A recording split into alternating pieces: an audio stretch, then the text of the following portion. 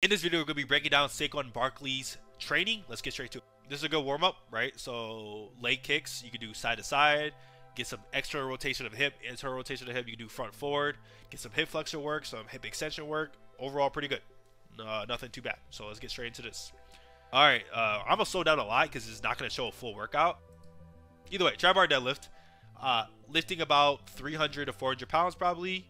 Could be even more. I don't know good for developing max strength and is very good for NFL players and basketball players because usually they're longer limbed. So a barbell doesn't really feel that good on their back and won't really have high transfer, but trap bar deadlift usually has very high transfer to vertical force and even horizontal force. So trap bar deadlifts are great.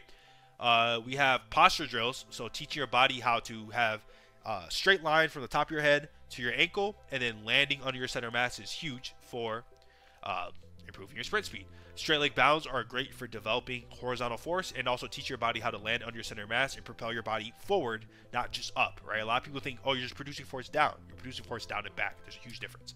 So straight leg bounds are a great way to teach that. Then we got some build up sprints. Great for developing max velocity sprint, especially if it's a flying 10. If it's time, not bad. Um, I think we got wicket sprints today, so it looks like a max velocity day. It makes sense why they're doing the pole stuff. We will see. So building up from the codes. Yep, and wickets. So these wickets are usually there's some charts, right? You can follow some charts, but usually the distance between every wicket, you can use a shoe, a wicket, or a tall wicket, right? So a shoe is the same thing as a short wicket. A short wicket is good for one foot jumpers and max velocity sprinting. Tall wickets are good for acceleration and two foot jumpers, right? Because you're gonna spend more time on the ground when the wickets are taller, so you can cover more distance vertically. So that'll be more uh, attributed to acceleration, but short wickets are obviously good. You want them to either be breakable or upside down. That way you're not falling and getting ankle sprain. And then the distance, there's charts on there, but you can do usually about three feet to two and a half feet. The faster you get, the more distance you need, right? And then you want it to be the way where when you're landing in between the wickets, you're landing under your center mass, pretty much in this position, right? Straight leg, straight line, pretty much to, to the ankle, right? Straight line from the head, straight down to the ankle. Good position have your chest forward, right? Get that heart forward, and then sprint as fast as possible, land on your center mass. Overall, pretty good, right? So we'll get straight to the next exercise. Arizona. Okay, glute ham raises are great for developing glute extension and glute strength, right? You're also getting a lot of isometric exposure to the hamstring, which is really important for one foot jumping and also uh, max velocity sprinting. So you're getting that isometric hold, and then you're letting the glute stretch and contract without putting a lot of load in other areas you don't need to do. Especially if you struggle with like hip thrust. If the hip thrust doesn't feel good to you, I think the next best option is a glute ham raise. And honestly, I'm not gonna lie, a glute ham raise, especially a single leg glute ham raise with bands and dumbbells and all those type of different ways to like load up the, the movement, is probably the best exercise for your glutes. And we know glutes are really important for max velocity sprinting and accessory acceleration, developing that horizontal force, right? So next exercise here is going to be trap bar deadlift. We talked about this. For loading, this is about 300 pounds. I say accelerated strength is the best way to load up a trap bar deadlift. Accelerated strength means you're lifting between 60 to 75% of your one rep max, right? So you're trying to produce force fast. It's called strength speed. Produce uh, lift heavy weight fast. So yeah, all right, you can do max strength, uh, max strength, which is like 90 to 100 percent of your one rep max. But usually the ground, uh, the contraction velocity of that is too slow, right? Which isn't very transferable. But accelerated strength is usually around maybe 0.6 to you know 1.0 seconds of contracting and producing force into the ground to get the trap bar up. That's more transferable to sprinting than a three second, you know, one rep max or something like that, right? The track here, uh, we already saw the wickets, so it might be another set of wickets, but we'll see. Uh, oh, flying tens. So how you do a flying ten is one of the best exercises to improve your max velocity. I do this in the Speed Academy all the time, about four to six sets of 10 meter flies. You build up for about 10 to 20 meters slowly, kind of like a jog, and start building up speed slowly more and more and more. Then you hit the cone or you hit these laser timers, and you sprint as fast as possible for 10 meters. The best exercise to improve your max velocity sprinting, right? So your ability to hawk someone down this is the best exercise. There is no question. It's it's always time and true. All the top coaches do it. it is the best way to improve max velocity sprint, right? There is a research study that shows that the fastest sprinters in the world, on average, have thicker thighs, so bigger quads and hamstrings than the average human. Right? I forgot the percentage of how much bigger, but on average, the bigger your quads and hamstrings are, the faster you are um, relative to body weight, right? So you can't be just huge, massive thighs that you have to be fat to get. You know, they need to be muscle, right? So it needs to be lean body mass. And if that's bigger than the average human, you're probably gonna have a higher chance of being faster, right?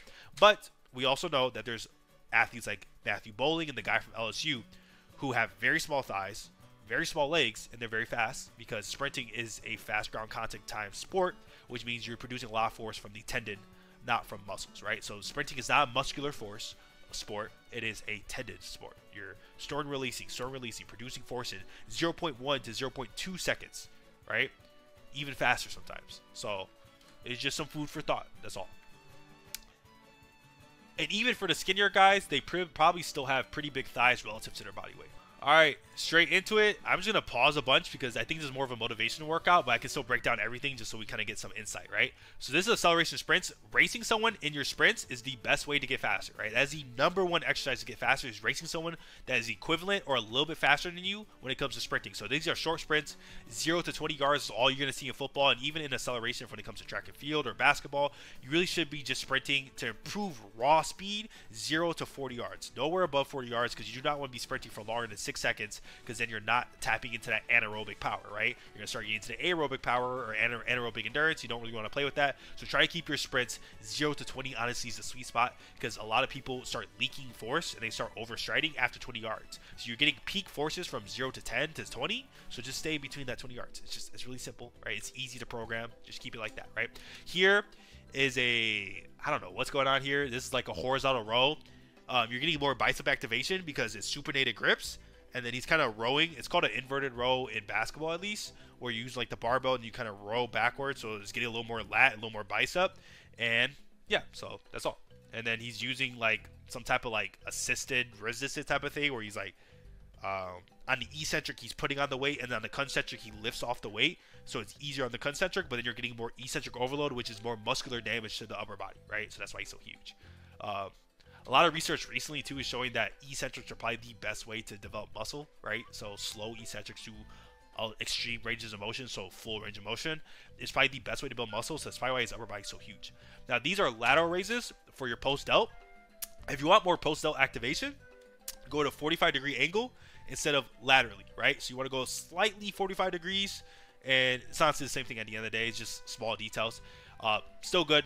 Lateral or post delts are really important for basketball and football players because a lot of the times we're sitting here and we start leaning forward, and this post delt gets really under underused. So uh, really important. right? incline chest press. One of the best ways to improve your chest. It's good for pressing in football, pressing in basketball, especially when it's dumbbell. And avoid the barbell. Just stick to dumbbells. Call it a day. Crack it out. Right. Here looks like a a wrist curl with bands, so uh, more tension at the top, so harder up here I'm not really sure exactly what the movie is going for. I think it's just like a bicep curl. So cool, right? I don't really know what he's going for here. So these are band assisted pull-ups, or no, band resisted pull-ups. So more tension at the top. Um, he's doing a supinated grip, probably easier on his shoulders, but also gets more bicep too. A lot of lat here. Uh, yeah, that's all. So now here, this is actually pretty interesting, right? So I think he's trying to force internal rotation. So it's forcing the post delt to work because you're trying to keep your uh, your elbow from internally rotating or your shoulder from internally rotating. You're trying to maintain this position of this post, you know, this strong athletic position, which could be really important for football for not getting pushed off your thingy. Uh, and then you're using kettlebell for more instability, so you can get the shoulder to activate a little bit more the the, the intrinsic muscles in the shoulder, and you're just pressing overhead, right? Doing some pulse reps.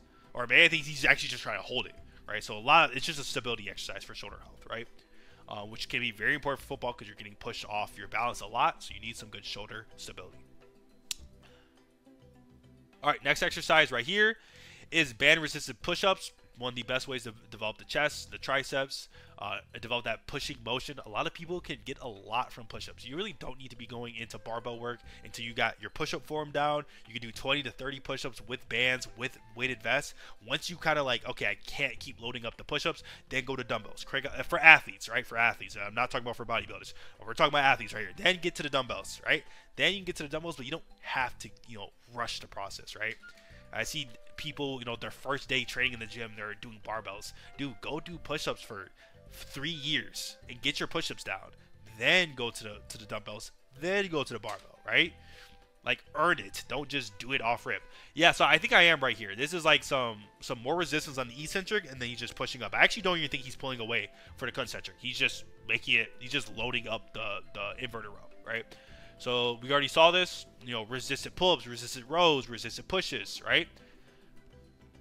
Here's some mobility stuff. This is some really good like flow state work to kind of get some more hip flexion, hip internal rotation, external rotation. It's a good mobility exercise, right? Um, overall, really good. This is sprint into uh, the brakes, right? So you sprint as fast as possible for five yards and then stop your body is one of the best ways to develop your deceleration. A lot of people do stationary deceleration work, which is important for beginners. But the second you become an advanced athlete like Saquon Barkley or any of these NFL players, uh, like Odell Beckham, who's also in this video as well, you want to sprint and then stop, add in horizontal momentum, try to stop yourself as fast as possible is one of the best ways to build your deceleration brakes, right?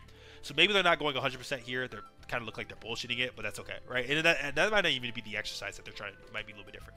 So now doing some plyometric push-ups, really good for developing that explosive power in the chest, and then racing sprints is the best way to develop acceleration. Overall, great workouts. It looks like a multiple workout routine. It doesn't look like one day. It looks like a couple days of workouts. So I wouldn't structure it in the way that you probably saw in this video. It's just probably a montage of multiple workouts. Overall, really good and great for developing uh, athleticism for football or basketball. YouTube is going to recommend you this video or this video to jump higher and run faster. So go ahead and click this video and uh, improve your athleticism. Athleticism. Improve it. All right, cool. Bye.